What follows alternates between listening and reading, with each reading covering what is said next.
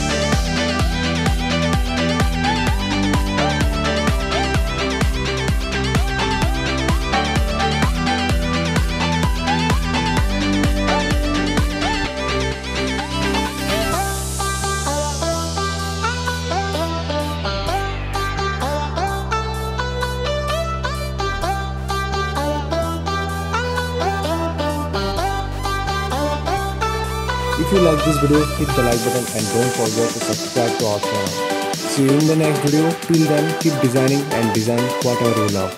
Bye bye.